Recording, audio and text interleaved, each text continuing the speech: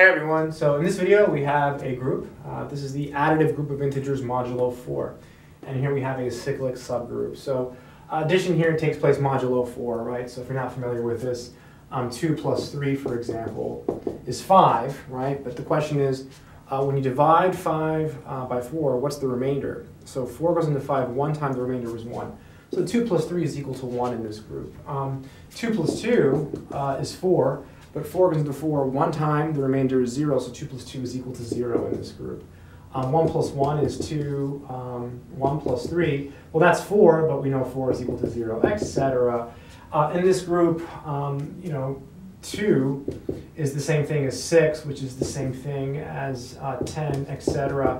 So some textbooks, they won't use numbers here. They'll use equivalence classes, That's fine. But as long as you know in your mind that each of these numbers can represent infinitely many numbers that have that same property, um, you're good, right? You can think of these as the representatives of the equivalence classes if you know what those are.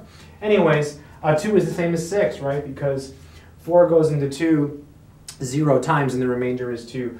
4 goes into 6 one time, and the remainder is 2. 4 goes into 10 two times, right? Two times. 4 times 2 is 8, and the remainder is 2, and so on. So these are the remainders that you get when you divide a number by 4. That's what these are.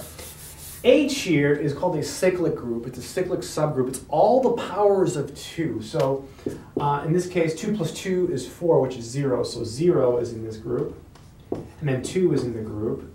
Uh, 4, 4 is there, but 4 is 0. 6, 6 is in this group.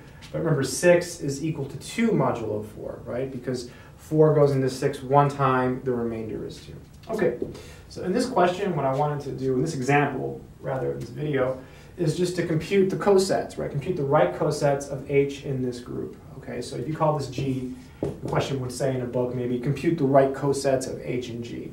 So how do you compute cosets? Well, you just, you just keep adding, right? Here the operation is addition modulo uh, 4. So you add. So H is one group. That's one of the cosets. 0, 2. And then H plus 1.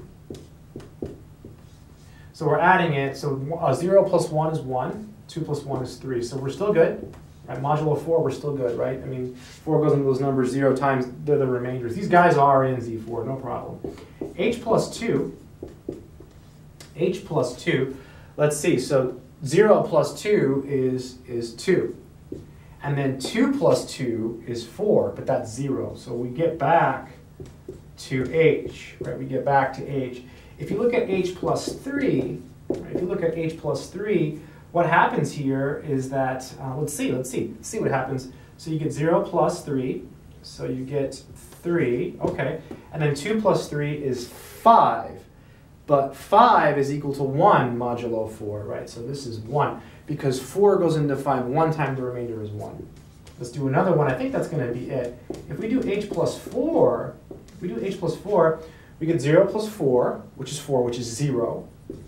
We get 2 plus 4, which is 6, right? And so that's actually equal to 2. So this is equal to the same thing as h. So it looks like, what are our cosets in this problem? Looks like it's h and the other coset here would just be h plus 1. Look at that, 0, 2, 1, 3, 0, 2, 1, 3. Same thing, right? So h and h plus 1. I wasn't really thinking. I guess I could have could have stopped before this, but just you know just add them up, and then when you notice that things are repeating, that's it. So those would be the right cosets of h and g. So how do you find them?